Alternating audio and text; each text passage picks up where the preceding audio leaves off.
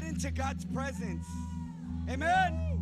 How many have been how many been anticipating for God to continue to move? Amen. Amen. Amen. Amen. We want to welcome you to another night of glory to our chosen generation conference. TLH welcomes you. The pastors of the house welcome you. We are happy to have you. Let's not waste any more time. Let's get into his glory. Let's praise him. Let's lift him up. Let's honor him. Lift up our praise. Woo! Oh, hallelujah, Lord. We put another night of glory in your hands. In Jesus' name.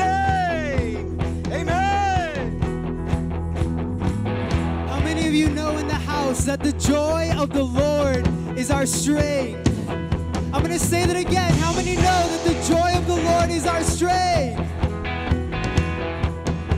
All right, so this is a song that's super special to us. Um, it's called Ha Ha Hallelujah. Lyrics are super simple, okay?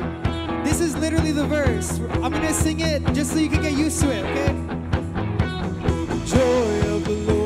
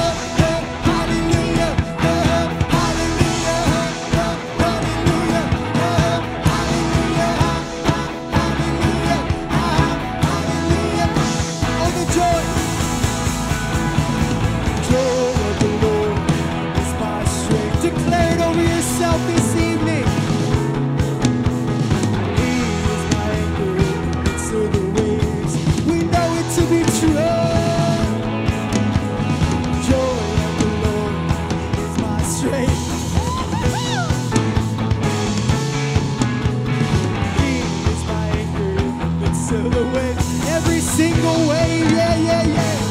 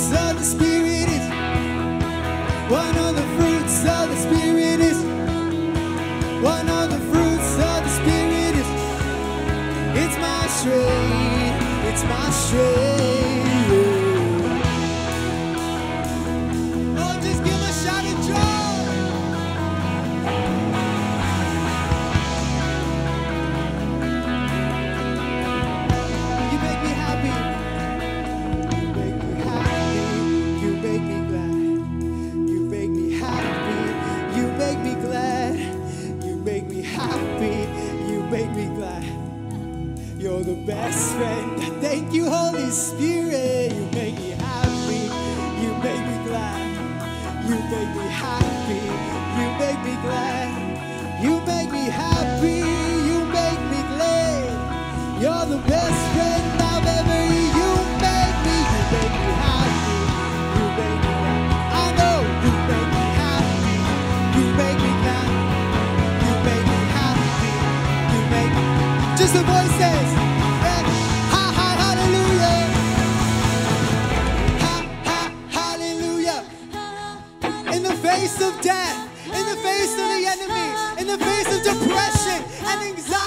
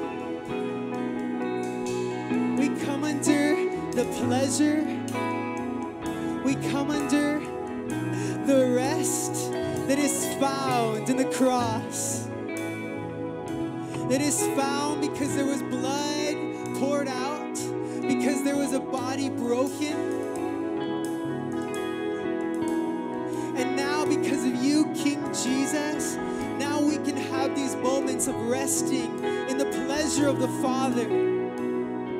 For you are the reconciler, Lord. Your body, your blood took the wrath of God on upon itself.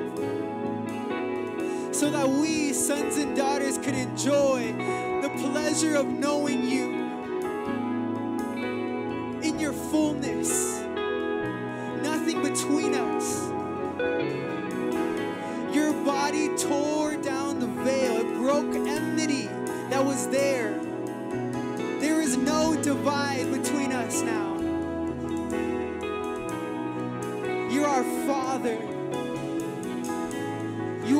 closer like no other.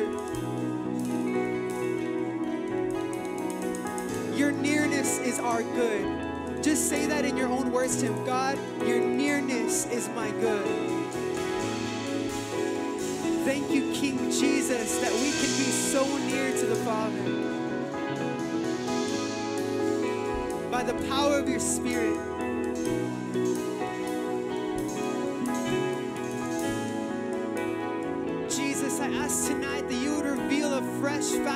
Yourself to your people.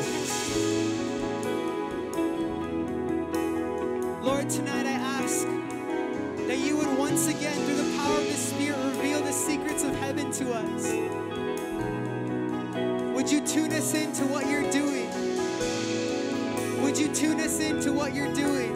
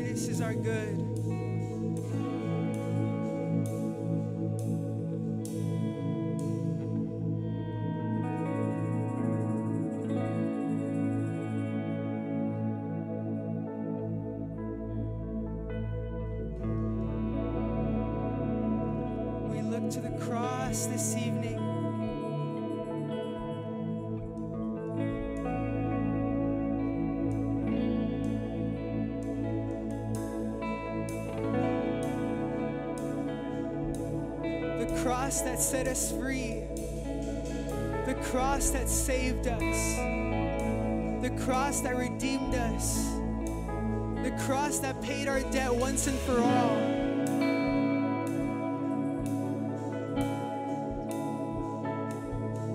Lord, we know we live with you in the power of your resurrection. But Lord, help us not to forget the cross.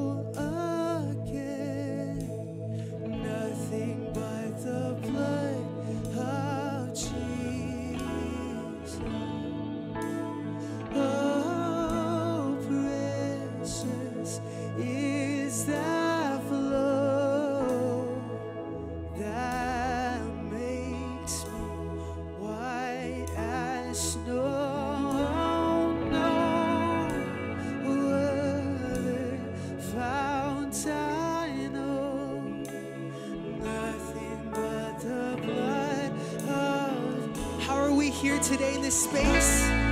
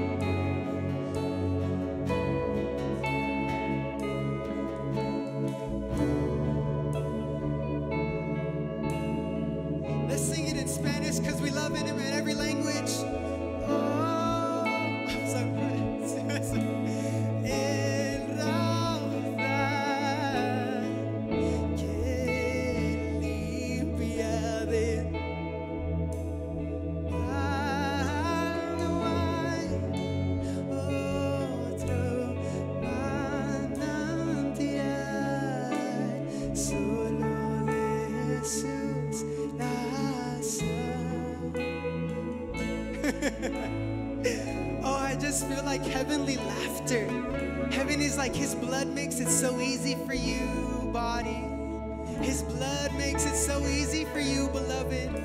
His blood makes it so easy for you. There's such an easiness, a lightness. Oh, would you say that there's a yoke and a burden that is better than anything else in the universe? I just want you to feel in the room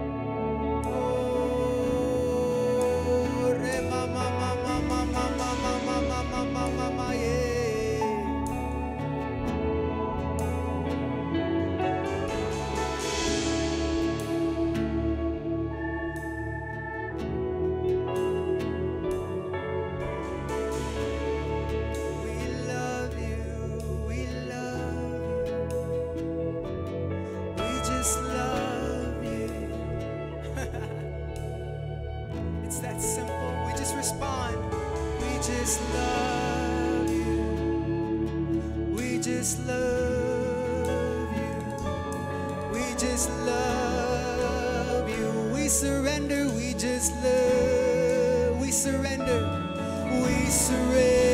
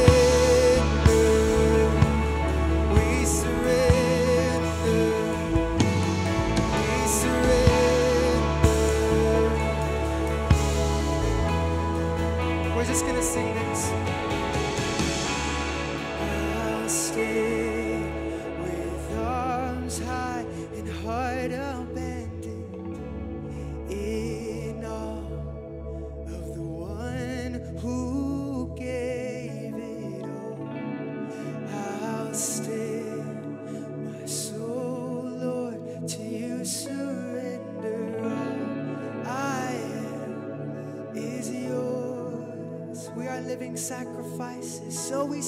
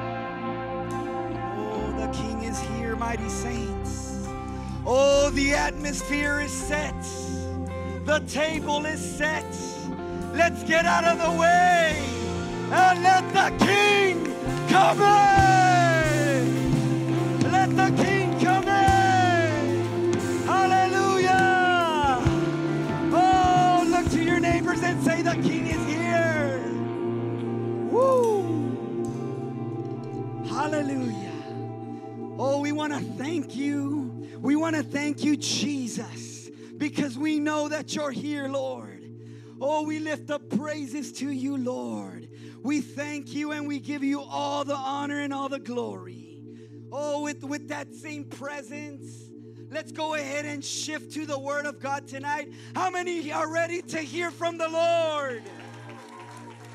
Amen. Hallelujah.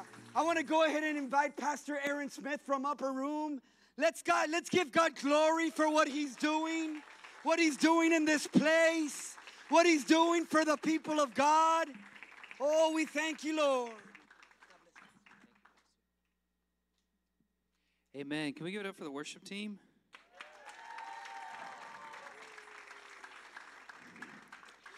Hey, this is a bit of a unique room, so I want to invite you, if you want to, no pressure, but if you want to, especially some of you young ones, if y'all want to come sit up here, you can.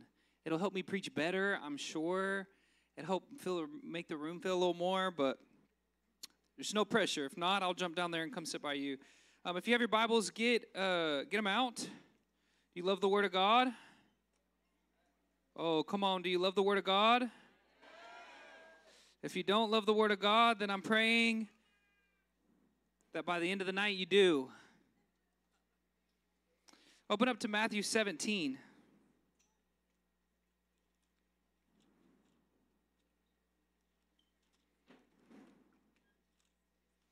Matthew 17. I caught a flight today to be with you. I came all the way from Dallas, Texas.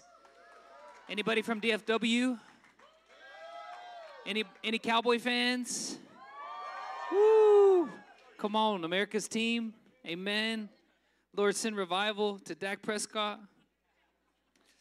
Um, I have a, a two and a half year old. Her name is Rosie. I have a nine month old son. His name is Shepherd King. And they were really sad this morning when daddy said he wasn't coming home because he was going out of town. And then my uh, daughter found out that she was going to have a friend come over and they were going to have ice cream. And then she didn't care anymore. She was like, bye, daddy. I get ice cream. Um, all right, open your Bibles up to Matthew 17, verse 1.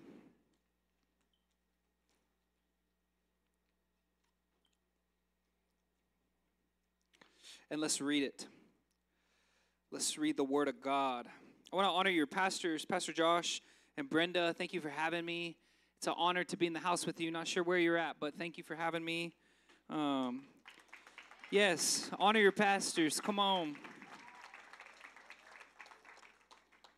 Um, all right, Matthew 17, verse 1. Now, after six days, Jesus took Peter, James, and John, his brother, and he led them up on a high mountain by themselves, and he was transfigured before them.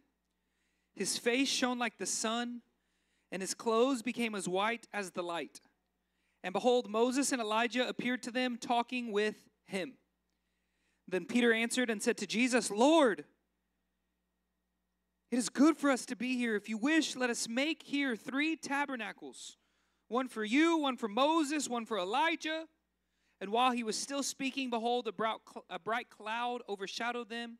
And suddenly a voice came out of the cloud saying, This is my beloved Son, in whom I'm well pleased. Hear him. And when the disciples heard it, they fell on their faces and were greatly afraid. But Jesus came and touched them and said, Arise, do not be afraid. And when they had lifted their eyes, they saw no one but Jesus only. I don't know about you, but that's a, that's a good thing when you only see Jesus. Now, as they came down from the mountain, Jesus commanded them, saying, Tell the vision to no one until the Son of Man is risen from the dead. Let's pray. Jesus, Lord, I thank you for your word. I thank you that it's sharper than any double edged sword. Lord, I thank you that your word cuts through opinion. Lord, your, your word cuts through uh, political agendas. Lord, your word is truth and it's truth established forever. And I pray tonight, Lord, that your truth would pierce hearts. Pray tonight, Lord, that your truth would, would touch minds. I pray that tonight, Lord, we would encounter you. And Holy Spirit, I ask that you would reveal to us the man that is behind the pages, who is Jesus, our King, our Lord. Lord, that we would encounter him. Lord, let tonight not be a night of hype. Let tonight not be a night where we leave the same way we came, but Lord, let us encounter your presence. Let us encounter your glory and let us be transformed. And so, Lord, we honor you tonight. I pray that you would help me preach this word as well as you preached it to me, Lord. I was so encouraged when you began speaking to me out of Matthew 17. And so, Lord, I pray that you would help me to speak to hearts in the room the same way you spoke to mine. In Jesus' name I pray. Before you say amen, everyone put your hand on your heart and say, Jesus, my heart is a target for you. Touch it tonight. Amen. Oh, you just set yourself up. It's a dangerous prayer. All right, let me paraphrase this uh, text that I just read for you. So, Jesus tells three of his disciples, He says, Come up here with me. We're going to go on top of this mountain. And so Jesus takes Peter, James, and John, and he goes on top of the mountain. And when he goes on top of the mountain, the Bible says he's transfigured. Anyone seen Twilight? Come on, raise your hand if you've seen Twilight. Robert Pattinson. Come on, he's pale as the night. He needs some suntan on him. But when he goes out and he stands in the sun, all of a sudden his skin looks like diamonds. And you know, he is not a human, he's a vampire. Well, Jesus was transfigured in the flesh. His skin began to shine. And the disciples saw him, his glory arrayed around him, his power illuminating from him. All of a sudden, the sky splits open and it becomes a thriller video where Moses and Elijah come back to life. They start speaking to Jesus right in front of Peter, James, and John. And the Bible says that Peter doesn't know what to do, so he just starts talking. Jesus, should we build a temple? We could build three of them, God, right here, right now. We could build you a temple. We could build Moses a temple. We could build Elijah a temple right here, right now. We could start building. We got our hammers, we got our nails, we got it. And all of a sudden, pow, pow, out of the sky, it says a loud noise. And the voice of God says, Behold, this is my son, in whom I'm well pleased. A voice begins to illuminate Jesus even more. All of a sudden, there's silence says Peter, James, and John fall down on their face. Jesus walks over to them and he touches them. They get up, and all that they see is Jesus. A moment before, they were caught up in the swirl of Moses is here, Elijah's here, Lord, you're shining. But now Jesus touches them, and all they can see, their focus is on the man, their focus is on Jesus. The Bible says all they saw was Jesus. And then Jesus said, Tell no one what has happened until the Son of Man has risen from the dead. This is a powerful text.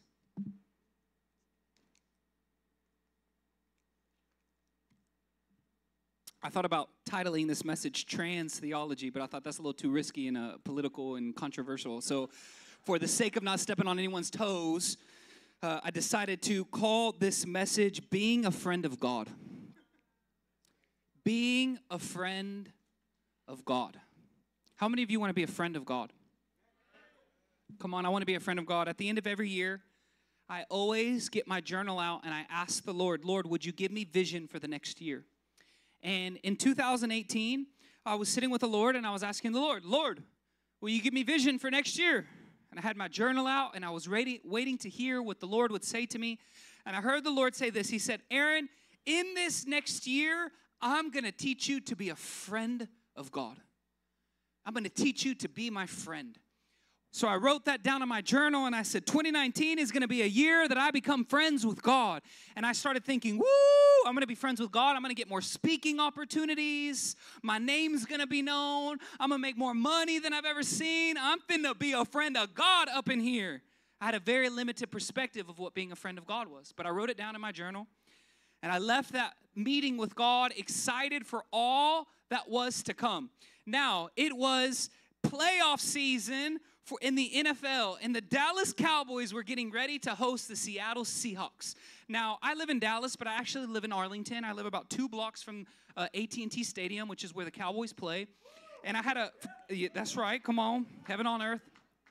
And uh, I had a, a, friend who attended the upper room and he worked for the Cowboy staff. And he said, Aaron, I can get you tickets to any game if you ever let me know. Well, the Dallas Cowboys are finna host Seattle Seahawks for the playoffs. So I text my man, hey, can you get me into the game? He says, yes, I can get you into the game. He gets me on to the, literally right behind the players, what's called, uh, uh, the Miller Lite Club. And it's basically a section that's you're pretty much on the field standing behind the players. You watch the players run in and out of this club to get onto the field and get to the locker room. You're almost in touching distance from the players. Now, it is a playoff game, fourth quarter. Dallas is down just a few points. They're driving down the field. All of a sudden, Dak Prescott throws a beautiful pass. The Cowboys score. They win the game. The stadium is erupting. Beers flying everywhere. It's the craziest. People are ripping their shirt off. The Dallas Cowboys have just won a playoff game. Why do I tell you that story? Because I was sitting there, standing actually, watching this unfold, and I could not engage the football game because my heart was so burdened with a stadium full of people who were cheering for a man's football team, but they did not know God. And my heart was burdened. And it was one of the most beautiful moments for Dallas Cowboy fans. Yet for me, I was so disengaged from the game, and I felt a burden of intercession for the lost. That night, I went home, and my wife said, "How was the game?" And I said, "It was, it was okay, but man, my my heart is just so burdened for the lost." That night, I laid my head down, and because we live so close to the stadium, until late in the night, you could hear people out in the streets partying and I woke up and it was about 2:30 in the morning and I wanted to weep because I was thinking of all of the lost. God, there's so many broken, lost people. And I sat up in my bed and I said, God, what is this? What is this feeling that I'm feeling? I can't even enjoy my favorite sports team winning a massive win because I'm so burdened for the loss. What is this? And I'll never forget at 2:30 in the morning the Lord said this to me. He said, "Aaron, welcome to being a friend of God." He said, Friends share burdens with friends. And I realized in that moment that the mark of friendship wasn't favor, it wasn't being in the spotlight, it wasn't it wasn't your name being known, it was actually caring about what God cares about. See, when you're a friend of God, God begins to share his burdens with you. When you're a friend of God, He begins to share things with you that He doesn't share with other people. When you're a friend with God, you begin to see the intricate details of the things that make God's heart beat that normal people don't get to experience. Why? Because you're growing in friendship with Him. See, that's what's happening right here in Matthew 17. Jesus is inviting Peter, James, and John into deeper friendship. He's saying, Hey, I want to be deeper friends with you. Hey, I want you to know me a little better than you already do. Come up the mountain with me, and I'm going to show you something that the rest of the disciples aren't going to see. I'm going to show you something that the rest of Israel is not going to see. I'm going to show you something that the majority of man on the earth is not going to see. I'm going to show you my glory. That's what's happening in Matthew 17. Jesus is inviting his friends into deeper friendship. See, this is a good point to, to uh, just linger for a moment that Jesus says, Many are called, but few are chosen. Because what I've actually found is very few say yes to this level of friendship with Jesus. See, many are okay with being surface level with Jesus and having influence for him, but not having intimacy with him. But to the one who say yes, Oh, many are called, but few are chosen. And I want to tell you there's an invitation tonight for you, for you, each and every one of you to go deeper in friendship with Jesus. And you see, I've heard a lot of talk about glory. See, Jesus is transfigured before them. His glory is being expressed before the disciples. And I hear a lot of talk in this day and age about glory. God, we want the glory. God, we want your glory. God, let your glory come. You know what I have found? His glory uh, uh, the simplest I could put his glory at its absolute core. If you want to see God's glory, you need to learn to be friends with him. See, friendship with God is marked with his glory. Intimacy with God is marked with his glory. See, friendship with God is about going a little deeper with him. Friendship with God is about knowing him just a little bit more. Friendship with God is about building a history with Him. Friendship with God is about walking with Him day in, day out. See, heaven is not impressed when you come into a meeting like this and you jump around and you wave your flags. That's awesome. Heaven is impressed when you walk out those doors and your life looks the same out there.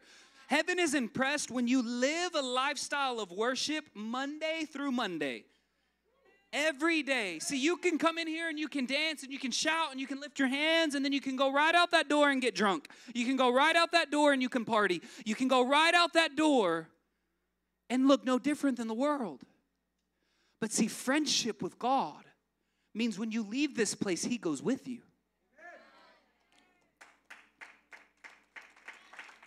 Yes, thank you, Jesus, for your friendship.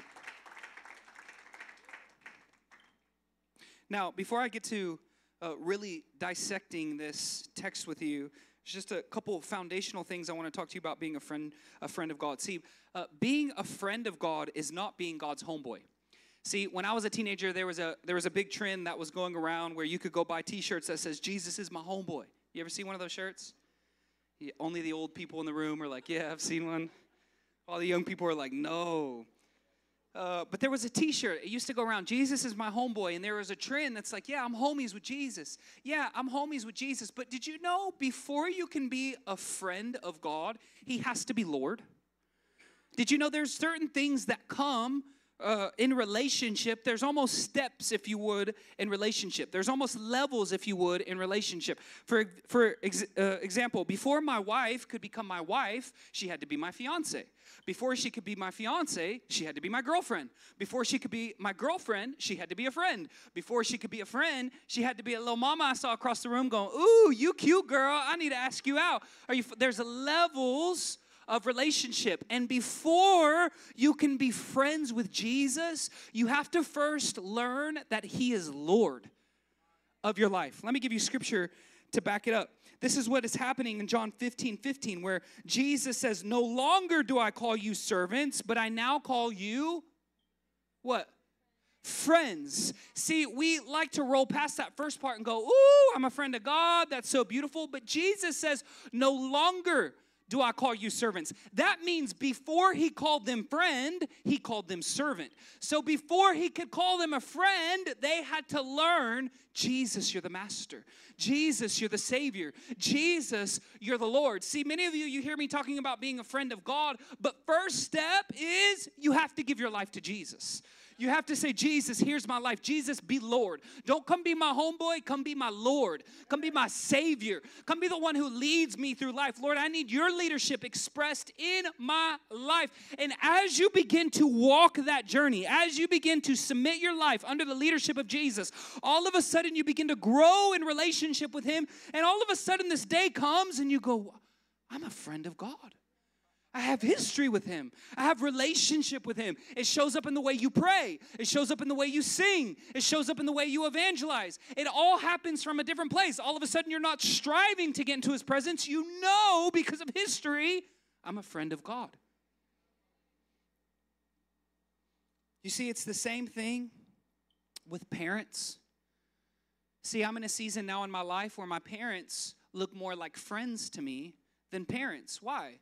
Because there was many years my my my young childhood years my adolescent years my teenage years my young 20s i viewed my parents one way but now that i'm entering into my 30s my parents are starting to take a different relationship with me. They look more like friends than they do as parents when i was a teenager. Are you following me? It's the same thing with a pastor Oftentimes, you don't start becoming friends with your pastor until you've learned to submit your life to your pastor because there is levels of intimacy in relationship. And the same with Jesus.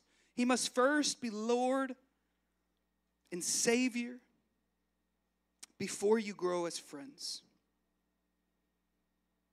That means you're a servant first.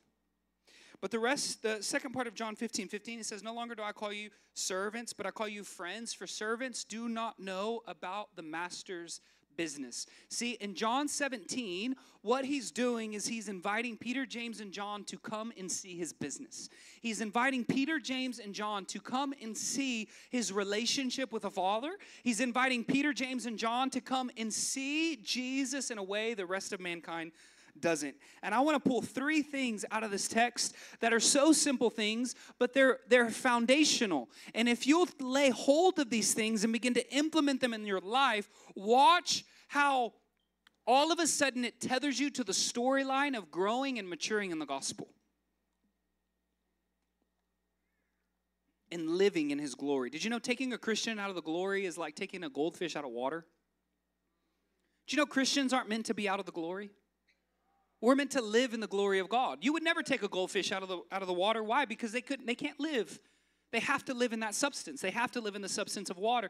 And did you know that the church is meant to live in the glory of God? Yet so in this hour, there are so many believers that are unfamiliar with God's glory. When God's presence shows up in the room, you have a worship team that's leading you right to his throne. The presence of God comes in. You can look around the room and you can see many people who are unfamiliar with the presence. They don't know how to respond, they don't know how to get on their knees, they don't know how to lift their hands. But let me tell you, you were made for God's glory. You were made for God's glory. And so, a couple things I see in the story that God was really speaking to me. It says this in verse 4. Let's just jump back to verse 3. And behold, Moses and Elijah appeared to them talking with him. So Moses and Elijah show up on the scene, and the Bible says they start talking to Jesus. They're not talking to Peter, they're not talking to James, they're not talking to John. Jesus starts engaging in conversation with Moses and with Elijah. So, have you ever been that friend that you're with someone and they see someone that they know and they start saying what's up to their friend, but you're kind of standing on the side like, What's up, guys? Like, I'm here too. You ever been that friend? That's what's happening right now for Peter, James, and John. They're seeing Jesus talking with Moses and Elijah. I don't know what in the world they're talking about. And Peter, James, and John are standing to the side and they're watching this engage and they start getting nervous energy. You ever had nervous energy where you just start talking? You just start saying things, you don't even know what you're talking about, but because you feel a little awkward and you feel a little weird, you don't know what to do, you just start talking. That's what happens to Peter, James, and John. And they go, Jesus, we can we can build you guys a temple. Jesus, we can build you an altar up here on the mountain. Jesus, we can we can start doing all these things. And the voice comes from heaven and says, "This is my beloved son, hear him." In other words, here's point number 1, and hopefully you're taking notes tonight.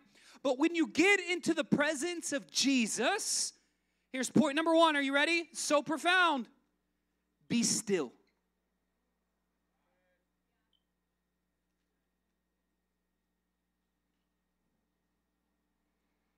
Be still. I know it's anticlimactic. But we don't know how to be still in 2023. Try turning your phone off for one hour. One hour. I bet you can't do it, especially you teenagers. I'll, I'll, I'll if you tomorrow, I'll tell you what, the first teenager that comes up to me, if you can turn your phone off right now, tomorrow at 7 p.m., by the time service starts, if you can say and you have accountability, you've said, I have had my phone turned off for 24 hours, I'll Cash App you 10 bucks. Because we don't know how to be still. We don't know how to just rest. You know, there's a reason the Bible says, be slow to speak and quick to listen. Be slow to speak, but be quick to listen. See, a lot of you get yourselves in trouble because you talk too much. A lot of you don't hear what heaven is saying over your life because you haven't stopped talking. My wife and I, we do marriage counseling, and don't worry, we did premarital counseling, and when we got married, we said, we're gonna keep doing counseling. It's so good for us. And we've been married for almost six years, and about a year into our marriage, we were sitting with our marriage counselor and we were talking about some of the dynamics in our home. And we were just, we were talking back and forth, talking back and forth. We were talking about an issue that we were facing together. And all of a sudden, about 30 minutes in, our marriage counselor goes, Would you guys stop talking? And we just are like looking at her, and our eyes got big. And she goes, I can tell you what the problem is. Neither of you are hearing the other one. You both won't stop talking. Can I tell you, a lot of Christians' lives look the same way with God? Did you know that God is eager to speak to you? Did you know that God is eager to lead you? God is eager to open up his mouth and begin to speak to you. And the reason some of you feel like you can't hear God is because you can't stop talking. And maybe you're not talking out loud, but but the voice in your heart, the voice in your mind, the voice on the inside doesn't ever stop. But if you can learn to be still in the presence, if you can learn to rest at the feet of Jesus, if you can learn that you don't have to strive yourself into his presence, you just get to rest in the finished work of the gospel and the finished work of the cross, I promise you, God will be quick to speak to you. Get in the presence and be still. Psalm 46:10 it says this. It says, Be still and know that I am God. God is speaking to David because David is writing about the chaos that is surrounding him. He's writing about a circumstance he's walking through, and life feels crazy. Yet in verse 10 of Psalm 46, the Lord responds to David and he says, David, here's the antidote for you be still and know that I am God. Did you know you're not God? Did you know that you're not Lord of your own life?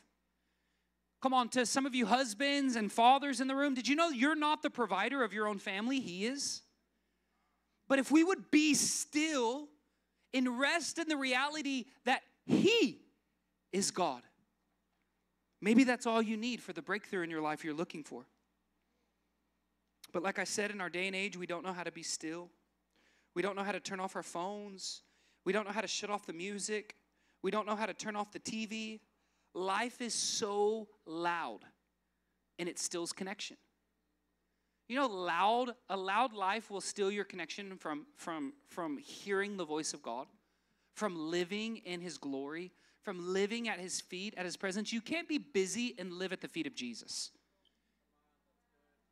You have to slow down. You have to be still. We, uh, we're trying to teach our two and a half year old this. She loves CoComelon. She loves Frozen. She loves TV. She loves music.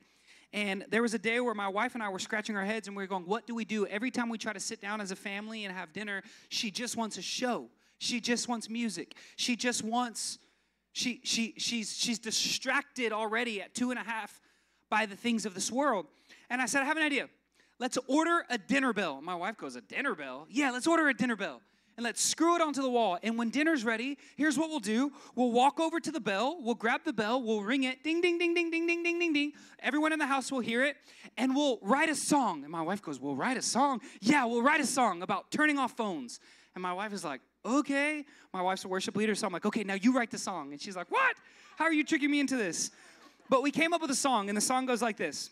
It goes, phones away, screens turned off, family time, family time, family time. Phones away, screens turned off. Family time, family time, family time. Phones away, screens turned off. Family time, family time, family time. Thank you for backing me up, for those of you who backed me up. Woo woo. Why am I telling you this story? Because that was about a month and a half ago. And this morning, this is what's happened in a month and a half since we've done that. This morning, we got up. I was getting ready for work. My wife was making breakfast, and my daughter had pushed her little chair all the way to the wall where the bell is. And we're getting ready, and we hear the bell being rung. And it's my daughter ringing the bell. And we walk into the room, and she by herself is singing the song phones away, screens turned off, family time, family time, family time. Now she's two and a half. And I walk out and I'm like, is it family time? And she's saying, yes, it's time for breakfast. Come to the table. So we sit down at the table. My phone rings. I pick my phone up, and she looks at me and she goes, Daddy, phone's away. Now, she's two and a half. Why am I telling you this story? Because what we have established in our home in the last month and a half from with being intentional to be still is we are setting a new normal in our family where we're connecting. We're actually sitting around the table together and we're connecting. We're actually getting able to have conversations. Come on, if a two and a half year old can do this, you can do this. And the concept is the same with the Lord to get in his presence and be still. Amen. I could give you more, but for the sake of time, I'm going to move on. So get in the presence and be still. Now, point number two is my, sec- my favorite point. It says, Then Peter answered and said to Jesus, sorry, verse 6 And when the disciples heard it, they fell on their faces and they were greatly afraid. They heard the voice, This is my beloved Son, in whom I'm well pleased. Hear him. Verse 7 But Jesus came and touched them. But Jesus came and touched them. Woo! But Jesus came and touched them. Here's point number two. When you get in the presence, let Jesus touch you. Let Jesus touch you. Let Jesus impact you. Let him touch your life. You know, there was a moment tonight in worship where the presence of God was so thick in the room. But the question is, did you respond? The question is, did you let him touch you? The question is, did you let did you let his presence affect your heart? Did you let his presence affect your mind?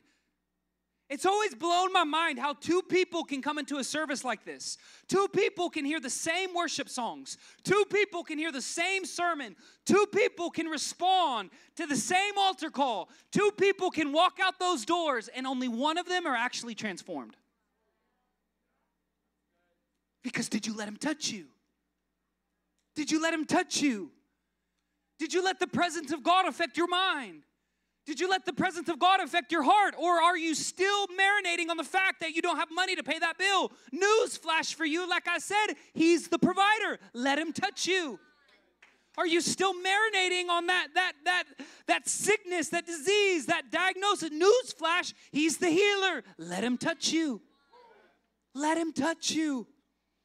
Let the, the friendship of God influence and change you. Be impacted by His friendship. I have a friend right now that she says, That's crazy to everything. That's crazy. That's crazy. That's crazy. She's always saying it. That's crazy. Well, the other day I noticed I said something to my wife, and my wife goes, That's crazy. And I looked at her and I said, You sound just like our friend. Because she's let friendship impact her, she's let friendship influence her. You're starting to see the fruit of their friendship. You know that everything Jesus touch, touches is redeemed and restored. Everything he touches is redeemed and restored. Let me tell you a story. In 2017, a guy by the name of Corey Russell got hired on staff at the Upper Room. Some of you may know who he is. If you don't, he's a father in the faith. He's a fiery man. He, he's an amazing preacher. And he everywhere he goes, he leads people into encounter. He just is a friend of God. And there was a season where uh, as he came on staff and started preaching, it seemed like the presence of God was so thick at the upper room that people were falling on their faces and they were beginning to groan in the spirit. They were beginning to travail. They were beginning to have weird manifestations because it was evident that God was touching them. And I remember sitting in the room watching some of the people that were encountering God that I didn't think should be encountering God because I knew some of the things that were going on in their life. I knew some of the ways they were talking about other people. And at first, I sat in my chair, told you I was going to get down here with you, and I kind of was like, mm, that person, mm, that person, mm. and then all of a sudden, the conviction of God hit me. And I heard the voice of the Lord say, You can be touched too. You can be touched too. And you know what I did? I wasn't feeling this overwhelming overflow the Spirit of God and joy hitting me and angelic angels saying, Pick up your flag and dance. I was feeling offense in my heart. But by faith, I got out of my chair and I got on my knees. And then I got on my face, again by faith, because I wasn't feeling this overwhelming thing. And I said, God, you have permission to touch my life. And as I began to pray that prayer to the Lord, all of a sudden it started like a slow trickle, like when you turn on your faucet and it just starts to drip. But then all of a sudden, you know, you turn it all the way and it's just a, a fresh pour. My eyes were like that. All of a sudden, tears were flowing down my face so strongly that I couldn't contain it. All of a sudden, that flow of tears started to turn into a groan. All of a sudden, that groan started turning into my life was physically being touched with the presence of God because I let Him touch me. Let Him touch you. Let go of your dignity. Let go of your pride. Let go of your way. Say, Jesus, touch me. You know, Jesus touched the blind man and he got his sight back. Jesus touched, touched the 12 year old girl that was dead and she was raised to new life. Jesus touched the cripple man and he was able to run home. There was a Roman soldier who, who had his ear cut off. Jesus touched it and he was restored. Jesus touched Nicodemus's heart, who was a Pharisee, and he encountered the presence of the Messiah. And there's a story in Genesis 32, and it's where Jacob wrestles with God. And Jacob grabs hold of God, and it's the most interesting story because he tells the Lord, as he has a hold of the Lord, he says, I will not let go until you touch me. I will not let go until you bless me. I will not let go until my life has been marked by your life. And guess what? The presence of God touches him. And the Bible says he never walked the same. And I want to ask you tonight have you gotten so hungry for God that you've said, Lord, I don't ever want to walk the same because I've been touched by you? Because there's an invitation for that for you tonight. I wrote this down as I was preparing for you. I'm not okay with normal. I'm not okay with mediocre. I'm not okay with basic. I want my life to be touched by God.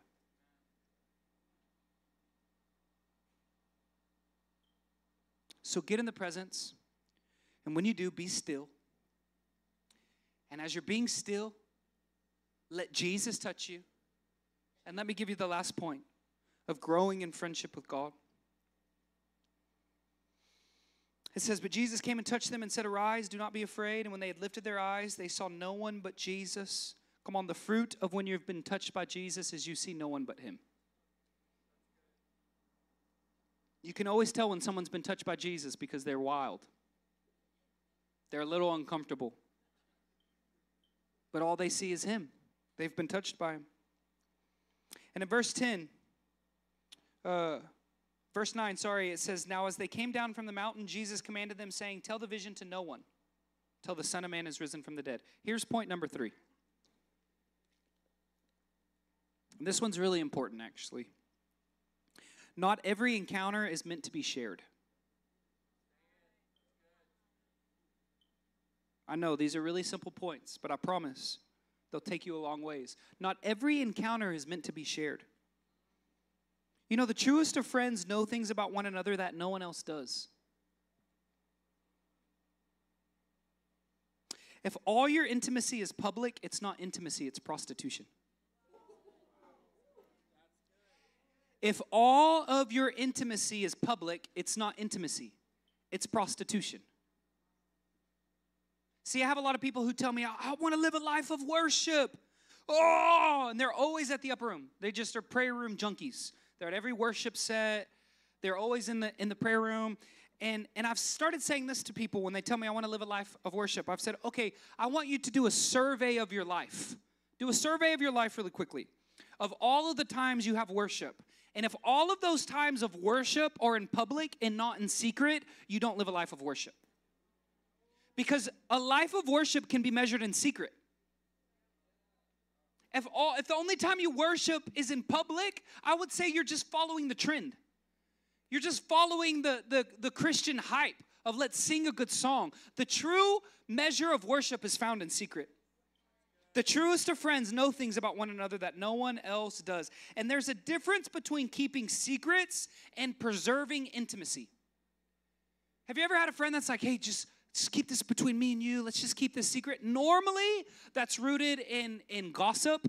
Normally, that's rooted in a toxic culture. Normally, if that thing that they shared with you gets into the light, there will be dire consequences. But preserving intimacy is different. See, you, you would know that my wife and I are close if we were in the room, but majority of our conversations you'll never hear majority of our times together, you'll never see. The deepest things we've talked about aren't on Instagram. They're not in a book. They're not this big public thing to see. They're in secret. It's preserving intimacy. Not every encounter is meant to be shared. Did you know that you were made for the shadow of his wing? You were made to live in the shadow of his wing. That means you were made to be hidden in God. How many of you know the name Heidi Baker? Oh, Mama Heidi is a she's a mama in the faith. Um, if you don't know who that is, go look it up. Just don't ever listen to another sermon I preach. Just go find her sermons and listen to her. She's amazing. She's a mama in the faith, and um, yeah, you can go look up who she is. But uh, I was at a conference and she was there, and my wife said, "Let's ask Mama Heidi to pray for us." And we walked up to her and we said, uh, "Miss Heidi, would you mind praying for my wife and I?" And for five minutes, she prayed for us. And the only thing she prayed for five minutes was this hide them, God. Hide them. Hide them in the shadow of your wing. Hide them, God. Hide them. Hide them. And what I have learned is that the true test of intimacy is not how many moments do you have in public with God, it's how many do you have in secret. How many do you have in secret with God? Billy Graham, I'm sure you know that name, when he was about to pass from this earth to the next, from this life to the next, sorry, Um, he was about to pass away. Uh, there was a there's a you can find it in a in an article. You can probably Google it and find it. But uh, he was interviewed, and he was interviewed by a Christian magazine. And the Christian magazine asked him. They said, uh, they said, Mr. Billy Graham, um, if you could go back and do anything different, what would you do, or would you? And this was his answer, and I thought it was so interesting. He said, If I could go back and do anything different, I would say yes less to public ministry, and I would say yes more to being alone with God. I would say yes less to the public ministry, and I would say yes more to being alone with God. You know, Moses longed for the mountaintop with Jesus, where he was away from the people. The people thought Moses was dead because he had spent so much time with God. David longed for the field.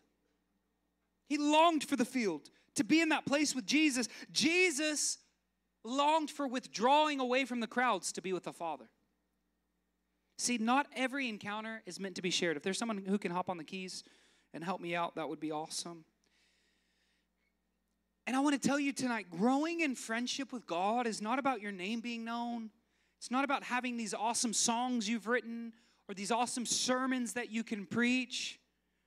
My favorite times with God are not these moments when I'm standing on the stage preaching to you, though I love it and I'm called to it. My favorite moments with God are when I'm sitting in this, this chair. I have this one chair in my backyard.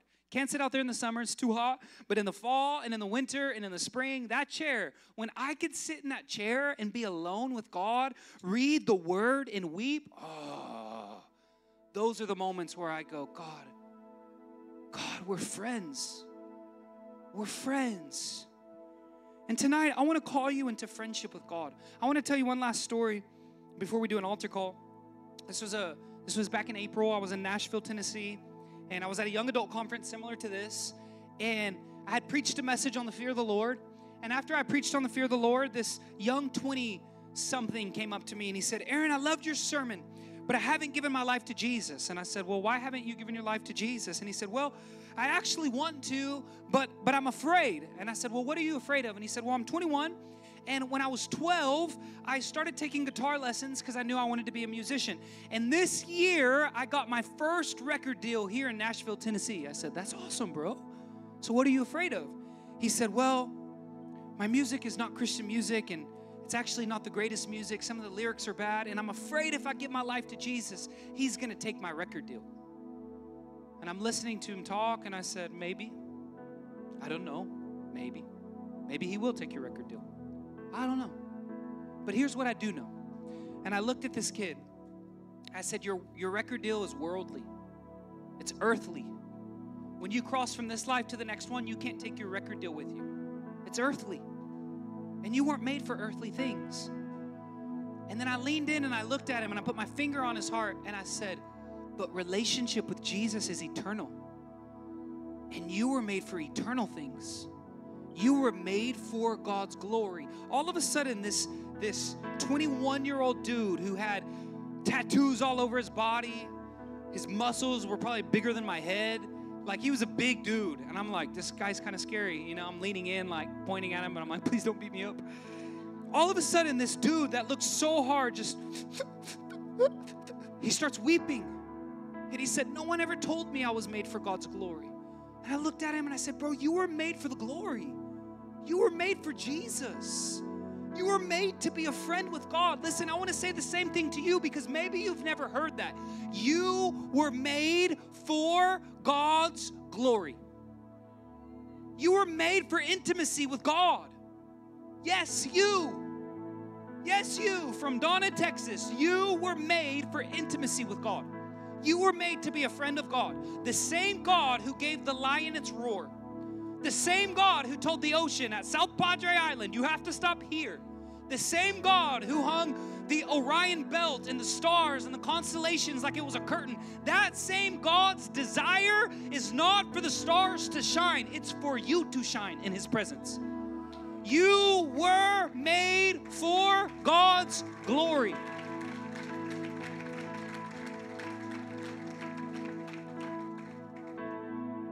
So tonight, I want to invite you to give your life to Jesus. If you're in this room and you know, I'm not walking with God. You know, oftentimes we go, If you've never given your life to Jesus, a lot of you in here have probably responded to an altar call before, but you know tonight in this room, you're not walking with Jesus. If that's you and you're going, man, I don't know him. I don't know him because there's a day on the calendar that you don't know, but heaven does. There's a day on the calendar where you, where you will stand before him and he will either say to you, Well done, good and faithful servant, or he's gonna look you square in the eyes and he's gonna say the worst phrase you'll ever hear in your life I never knew you. I never knew you. I never knew you, he'll say. And tonight, if you know you're in the room and you don't know him, you're not being known by him, you're not walking with Jesus, he's not Lord of your life. You have not given your life to Jesus. You're not walking with him. In just a moment, I'm going to ask you to stand. Now, in this moment is normally the moment where there's faith in the room for you to stand, and also there's this weird way the devil finds his way to trickle in here. And the same way there's faith, there's also fear. And you're probably sitting in the room and your heart's beating a little bit, and you're going, That's for me, but I don't want to stand up. I want to tell you. We don't ask you, guys like me, don't ask you to stand up and respond to altar calls so you make us feel good. Listen, I'm gonna go home tonight and I'm gonna sleep really good, regardless if there's one person that responds or all of you respond. The reason we ask you to stand is because you are meant to respond to the Lord. It takes faith to stand. It takes faith. And the moment you allow faith to produce itself in you, let me pastor you for a minute. Faith, uh, fear has no room in your life. Fear has no room. You want to see fear broken? Respond in faith. Say, that's me. I'm not letting fear keep me in my seat. Listen, tonight, if you want to know God and be known by God, if you want to give your life to Jesus, on the count of three, I want to ask you to stand across the room. I'm going to count to three, and when I hit three, I just want you to stand up. Who knows? Maybe there's someone sitting next to you that they want to stand too, and they're waiting for you to stand so they can have the boldness to do it. But tonight, you want to give your life to Jesus. You know you have not given it to Him. On the count of three, ready? One, two, three. Stand up. Come on, come on, come on. Amen. Thank you, Jesus. Thank you, Jesus. All right, this is what I want you to do. If that's you and you've, you've stood, I want you just to put your hands out in front of you, or you can lift them high, whatever you want. And I want you to close your eyes for a moment. I'm going to lead you in a prayer. And then I don't know, Pastor Josh, if we have a ministry team. Do we have a ministry team? Okay, awesome. I'm going to lead you in a prayer, and then in a moment, I'm going to ask you to come to the front. Why am I going to ask you to come to the front? Because we have a ministry team that wants to pray with you. Come on, you're meant to follow Jesus in community. So if that was you, you just responded. And if you wanted to stand and you didn't, you can stand at any moment as we pray this prayer. But I'm going to give you a prayer to pray. But I want you to connect your own heart. I want you to connect your own faith. But I'm going to give you the prayer. I want you to say out loud, I want you to say, Jesus. Say it loud. Come on with confidence. Say, Jesus, here's my life. Say, Jesus, you can have all of me. I want you to put your hand on your head like this. And I want you to say, Jesus, would you renew my mind? And then put your hand on your heart and say, Jesus, would you dwell here in my heart? Say, Jesus, my heart is yours. In your name I pray. Amen. Now, if that's you and you responded to that, I want you to come to the front. Just come get on your knees. Some of you are already up here, but I want you to come get on your knees on the front. And in a moment, we're going to lead you into worship. And you're going to have a moment where the power of God touches your life. Yeah, you guys can come up here and you can just get on your knees all around. You don't have to do it for me. You can circle around the whatever, but I just want you to respond. I'm going to lead you to respond to Him tonight. Now, before we do that, here's the next group of people I want to pray for. If you're still in your seats and you know, I've given my life to the Lord, but I want to grow in friendship with God. It's you. You're like, I want to grow in friendship with God, man. What you were talking about t- tonight, Aaron, I feel God's invitation to me. Then this is what I want you to do. Right where you're sitting down, I'm not going to ask you to stand up. I want you to put your hands out in front of you and close your eyes. And I'm going to pray for you. And then if Nick or somebody can lead us in a song, and then if we have a ministry team that can lay hands on some of these guys, some of you that responded tonight, I'm going to come around and I'm going to lay hands on you. I'm going to pray for you. But if that's you and you want to grow in friendship with God, Lord, I, I thank you that you see everyone that's in this room. Lord, you see them and you know them. Lord, you formed them, you fashioned them. You created their hair color, you created their eye color, you created, Lord, every mole on their body. You know them. And I pray that tonight, Jesus, would be a night that you would begin to invite them into deeper friendship. Thank you, Jesus, for friendship with God. Lord, I pray that tonight is not a night where my sermon transforms anybody. Lord, I pray tonight is a night where your presence rests on people in the room. I pray tonight is a night where they encounter you, God, the living God, Jesus, Yeshua, the Messiah, the, the high priest and bridegroom, our soon coming King. Lord, would you touch every life in this room tonight in Jesus' name? In Jesus' name. Now, here's what we're going to do we're going to worship. And I want you to begin to worship God. I want you to begin to dialogue with God. I want you to begin to give God honor and praise and begin to worship Him and say, Lord, here's my heart. Lord, here's my life. And as you do, someone may come around and lay hands on you and start praying for you. But tonight and right now is a moment for you to engage God. Amen. So, Lord, we honor you tonight. Lord, I thank you for your presence. Let it fall, let it rest. Let every life be touched tonight, Lord. Let us be transformed by your glory. Let us be transformed. Teach us how to linger. Teach us how to be still in your presence. Lord, we give you permission to touch us. Touch our lives, God. Touch our minds, God. Touch our bodies, God. Touch our hearts, God. You can touch us. Lord, and build intimacy with us tonight. In Jesus' name I pray. Come on, let's worship. Give me Jesus.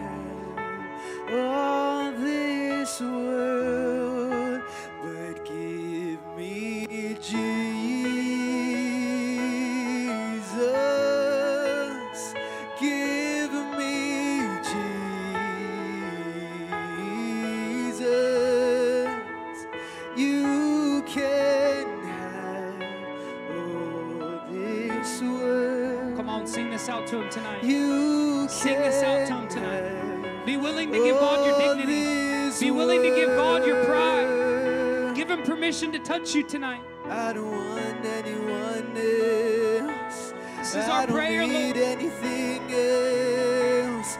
You Lord, we want you and you alone, one Jesus. You and you alone, Lord, in this hour. Lord, where the world and culture is inviting us to put our eyes on other things, Lord, help us to see you and you alone tonight, Lord.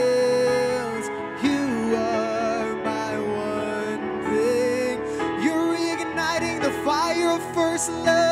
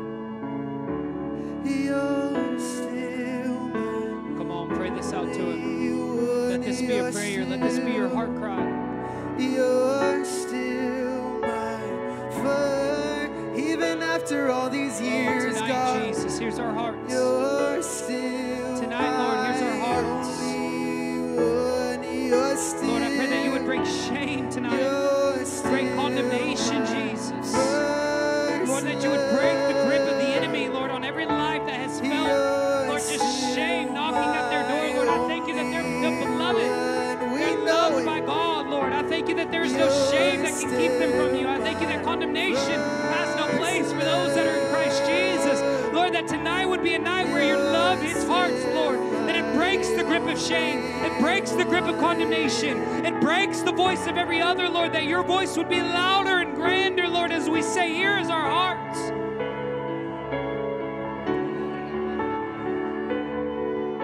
I feel like there's many in the room that you feel shameful for things that you've done. Maybe you've gotten an abortion. Maybe you've done something. Maybe you you've acted in a way that you feel like you can't come before Him. And I just see the Lord and His zeal tonight breaking shame, breaking condemnation, grabbing you by the face and saying, "You're my beloved," grabbing you and telling you, "Do you not know that I pray, paid such a high price for you? My own blood I paid for you, so that you could be free from shame and guilt and condemnation. You're free to enter into His presence tonight." Oh, touch us tonight, Jesus. Touch us tonight, Jesus. Touch us tonight, Spirit of God. Touch us, Holy Ghost. Lord, baptize us in fire. Baptize us, Lord, in a spirit of prayer, Lord. Give us a burden of intercession tonight to say, Here is our lives, Lord. You can have it all. Here's my heart, Lord. You can have it all. Come on, just tell Him yes tonight. Come on, say, You can fill my life, Holy Spirit. You can touch me, Jesus. to the chambers of your love. It's a place where I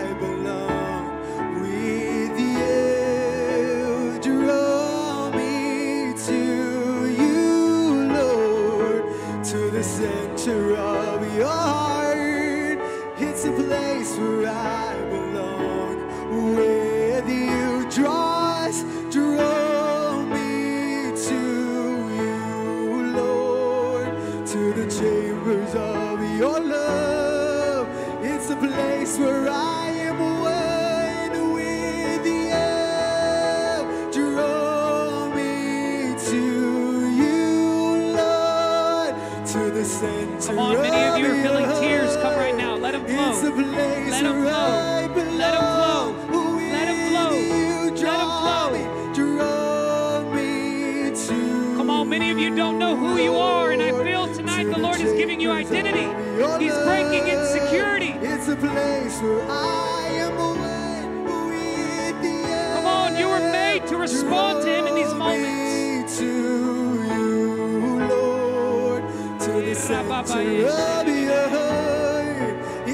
they surround.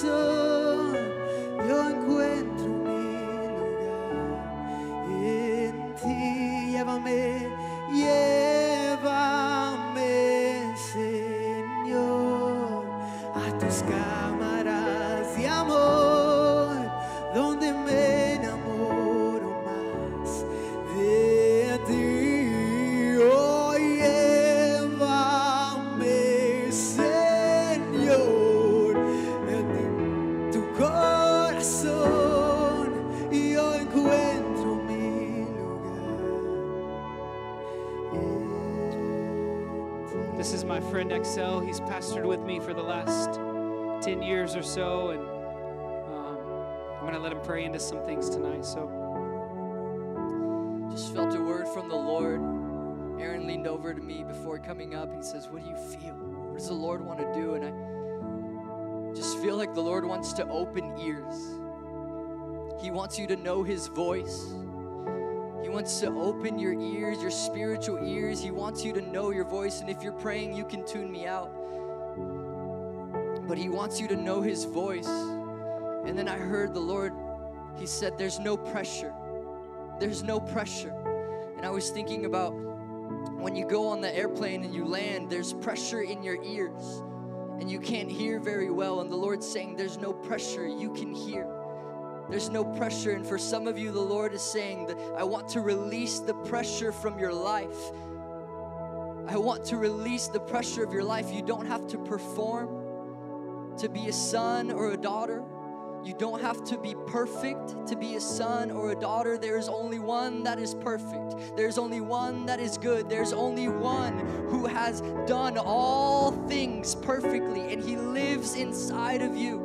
And when you release yourself, when you accept that in your life, the pressure is gone and your ears begin to open. So I want to pray if that's you and you want to hear the voice of the Lord because I feel like specifically the Lord says, I want to speak to them. And the pressure is off and you're a son or a daughter and if that's you you can just receive like this and i want to pray into it. So lord open our ears jesus open our ears jesus. Help us understand that we're sons and we're daughters. Oh the pressure is off. The pressure is off lord. We want to hear your voice. Come good shepherd. Come, good shepherd. We want to know the voice of the shepherd.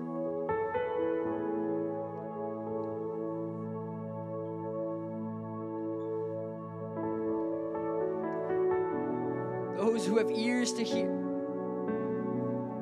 ears to hear.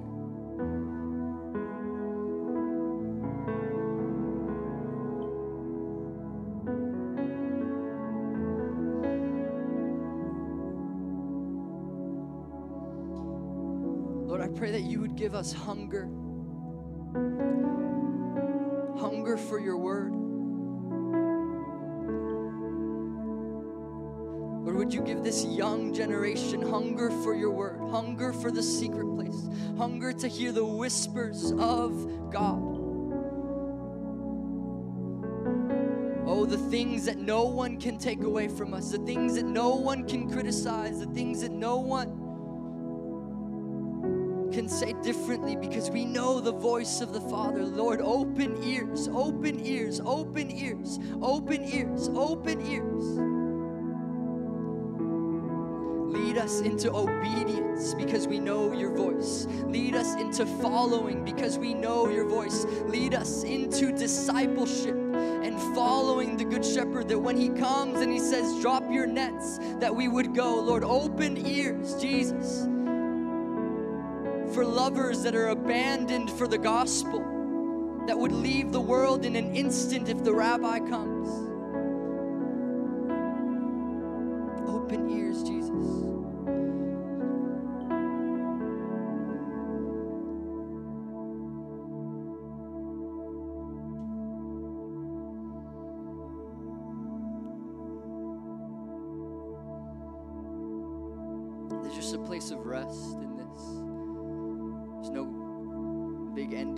Just a place of rest. Psalm 23 The table is a place of rest, it's finished. You know Him, you're not far from Him, He knows you. It's about communion, union with Him.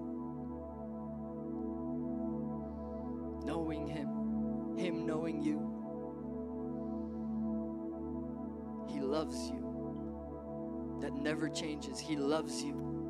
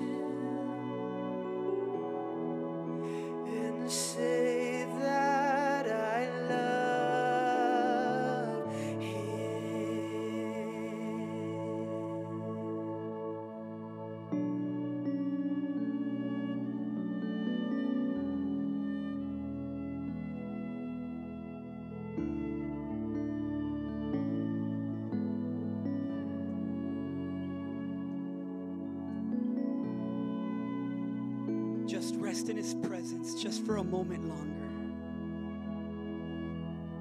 and just gaze at his beauty. Oh, the beauty of our Savior. Just rest in his presence, rest in his love.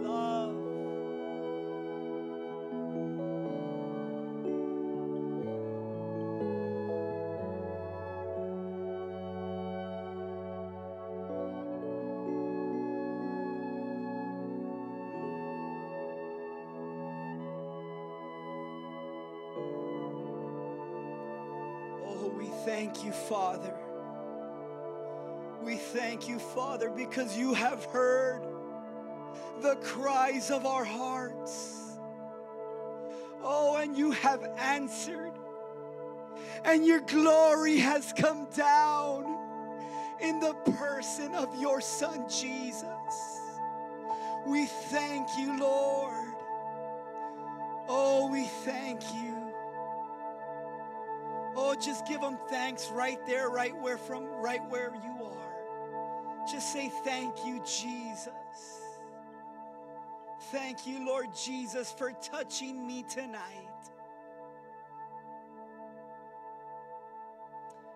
Oh, we thank you, Lord.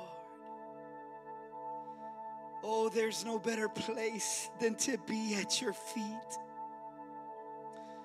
Oh, Father God, we thank you, Lord, for what you're doing, Lord God, in the lives of this generation, Father.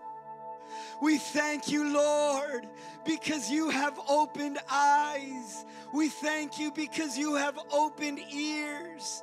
We thank you, Lord, because you have opened hearts, Father God. Oh, Father, we just want to rest in your presence. Just rest there a little bit longer. Whatever's going to happen after can wait. Thank you, Jesus. Thank you, Lord.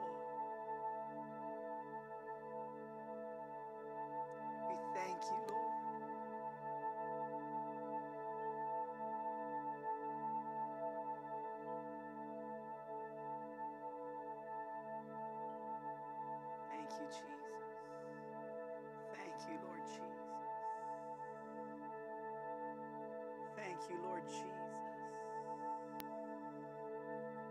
Thank you, Lord Jesus, because you call us friends.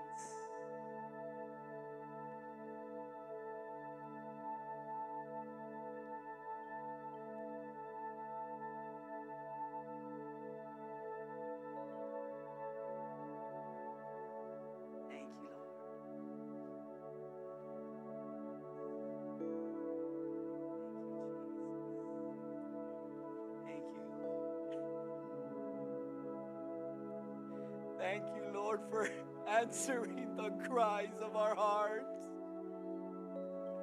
Thank you, Lord, for every single youth that is here tonight, Father God.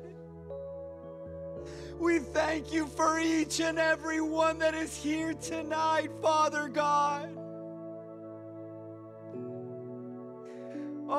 Father God, let not tonight be like any other night. Father God, let tonight be a night where everything changes, Father God. Oh, Father God, let us not walk out of here the same way we came in.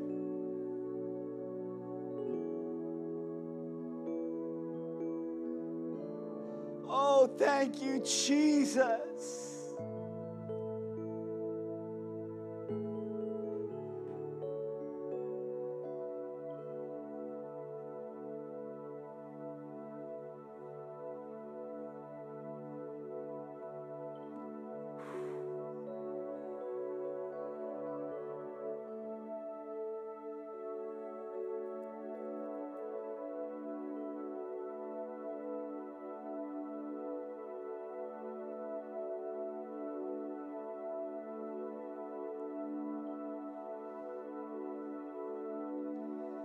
Time has come. And it's the hardest thing that I have to do. And it's end this service tonight. Oh, but we have a wonderful promise that we can take His presence everywhere we go. So let us let us all unite and let's all close this service together. Everyone look to your neighbor, say, There's another day. There's more. Whoo. Give him glory. Give him glory. All the glory is yours, Lord. All the glory is yours. Everyone, let's bow our heads in prayer. Father God, we thank you. We thank you because you always show up. Oh, we thank you, Lord, because you have released your word. You have released the word that gives life. You have released more of your spirit, Lord. We thank you, Lord. We thank you, Lord. Oh, Father God, we put all the people that are here tonight, Father God. We declare and decree a blessing over their lives, Father God. Let them take this blessing, Father God, as they walk out these doors and get in their cars, Father. We ask that you surround them with your mighty angels, Father God. Protect them and keep them, Father God. Let them tonight, Father God, commune upon their beds. As they lay down, Father God, let them meditate on what you did tonight.